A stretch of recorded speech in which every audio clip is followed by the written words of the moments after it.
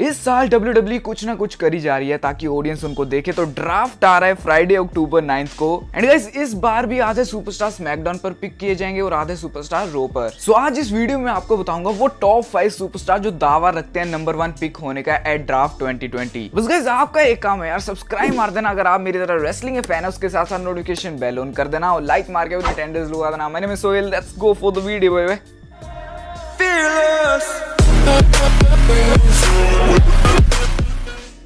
So हाँ जी, प्रिय मित्रों, जैसे भी मैं रैंकिंग करूँगा टॉप फाइव सुपरस्टार की, वो बेस्ड होगी उनकी परफॉर्मेंस जो उन्होंने पिछले महीने की है। सो चलिए विदाउट किसी देरी के नंबर फाइव पर चलते हैं। Monday night messiah Seth Rollins guys एक चीज़ कभी भी मत भूलिएगा 2016 में नंबर वन पिक पहले भी रह चुके हैं सेथ रॉलेंस जो सेथ रॉलेंस की सबसे बड़ी खासियत है, उनको नंबर वन पिक बना सकती है, वो है उनकी स्टोरी लाइन में अच्छी तरह से घुस जाना। एंड पिछले एक महीने की बात की जाए, बहुत ज़्यादा मैच जीते हैं, बहुत ही कम हारे हैं। डोमिनिक के साथ केज मैच था, वो भी जीत गए थे। सो ये सेथ रॉलेंस है नंबर फाइव पर एक और सुपरस्टार है नंबर फाइव पर, जो है स्मैकडाउन से। सेथ रोलिंस के मुँह बोले, भाई the phenomenal one A J Styles यहाँ पर मैं जेफ हार्डी को भी रख सकता था। लेकिन इस ए जे स्टाइल को अगर आप फेस बोलोगे फेस करेक्टर प्ले करना है, वो भी कर लेगा। अगर हील बोलोगे, वो भी कर लेगा। ये बहुत बड़ी खासियत है डब्ल्यू e के सुपरस्टार की। सो इसलिए मैंने इनको सेथ रोलिंस के साथ रखा है नंबर फाइव पर। चलिए नंबर फोर पर चलते हैं। Number four Fiend Fiend number four पर इसलिए आया क्योंकि इसकी परफॉर्मेंस बहुत ज़्यादा डाउन हो चुकी है। बहुत ज़्यादा मैच हार लिए पिछले एक दो महीने में। गाइज़ यहाँ पर बात ये नहीं कि हारे हैं, लेकिन कैसे रहे हैं, ये इंपॉर्टेंट है। डब्ल्यू e का इतना बड़ा सुपरस्टार होके भी एक हफ़्ते में टाइटल हार जाना जीत के, ये बहुत बड़ी मोमेंटम लूज है। लेकिन रोमर रेस के आने के बाद फ़ील्ड भी फीके पड़ गए हैं उनके सामने और स्मैकडाउन पर बहुत कम दिखाई देते हैं। ये था रीजन इनको नंबर फोर रखने का। चलिए नंबर थर्ड पर चलते हैं।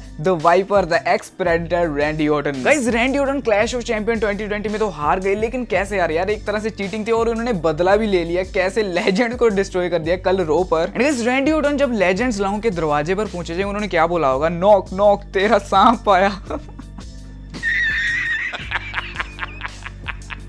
बट यस गाइस पिछले एक महीने से बहुत ही अच्छी परफॉर्मेंस रही है रैंडी ओटन की। एंड गाइस डब्ल्यूडब्ल्यू ने मेरे ख्याल टीज कर दिया कि Drew McIntyre versus Randy Orton एक बार फिर होने वाला है हेल इन अ सेल में। सो so, आप किसके साथ हो? कमेंट्स में ज़रूर बताएगा आपको पता है मैं हार्ड भी देता हूँ। अगर मैं बोलूँ तो मैं चाहूँगा कि रैंडी ओटन अब जीत जाए। बहुत ही टाइम हो गया है। सो so, इसीलिए रैंडी ओटन थे नंबर थर्ड पर। चलिए नंबर टू पर चलते हैं। ड्रू मैकेंटायर उनके साथी, उनके राइवल पिछला महीना ही नहीं 2020 पूरा ड्रू मैकेंटायर के नाम रहा है। बहुत ही अच्छा फेस ऑफ़ द कंपनी बना दिया है ड्रू मैकेंटायर को इस साल। अराउंड सारे के सारे मैच जीते हैं, एक भी मैच नहीं हारे 2020 में। बहुत बड़ी अचीवमेंट है ड्रू मैकेंटायर के लिए। सो इसलिए ड्रू मैकेंटायर को रखा है मैंने नंबर टू पर। आपको पता होगा, पिछले साल Becky Lynch number one pick रही थी रो पर। सो ऐसे में इसी वीडियो में आपको बता दूँगा की नंबर टू पर फीमेल भी हो सकती है और उसका नाम है बेली बेली ने ट्वेंटी में बहुत ही अच्छा काम किया है। पूरा अपना करेक्टर हीलता है, जो बहुत अच्छे से निभाई है। सो so, इसीलिए मेल को छोड़कर अगर फीमेल में कोई पिक होगी तो बेली नंबर टू पर होगी। चलिए नंबर वन पर चलते हैं फाइनली मेल के। No doubt R Truth R Truth वो बंदा है इतने टाइटल जीत चुका है वो 24 four by seven championship number one pick यही होगी।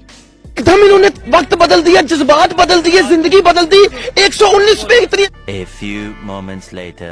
Jokes part guys Roman Reigns बनना चाहिए। यार, इसी को नंबर वन पिक होना चाहिए, क्योंकि पिछले महीने में सबसे ज़्यादा अच्छी परफॉर्मेंस जिसकी रही है, वो है रोमन रेंस की। रिटर्न के बाद एक हफ़्ते में ही जीतना यूनिवर्सल टाइटल बहुत बड़ी अचीवमेंट है। गाइज़ अभी डिसाइड नहीं हुआ कि जे उसके बाद कौन ओपोनेंट रहेगा रोमन रेंस को तो मैंने प्रिडिक्ट किया है वो पाँच ओपोनेंट जो बन सकते हैं। वीडियो के ऊपर एक लिंक आ जाएगा, जब ये वीडियो आप देख चुके होंगे, तब आप जा सकते हो वो वाली वीडियो देखने। सो मेल सुपरस्टार की बात होगी नंबर वन पिक पर। अब फीमेल की भी बात कर लेते हैं। नंबर टू पर बेली थी नंबर वन पर है ओस्का गाइज़ इसका मेन रीजन क्या है? ओस्का का इतना सुशील वाला डांस मतलब मज़ा आ जाता है यार। बट गाइस सीरियसली बहुत अच्छी रेसलर है उसका अगर फीमेल में से नंबर वन पिक होती है तो मैं चाहूँगा कि ओस्का को करे रो या स्मैकडाउन so अगर आप यहाँ तक पहुँच गए हो रोमरेज वाली वीडियो देख लेना और सब्सक्राइब आना ज़रूर है। मैंने मिसोयल बाय बाय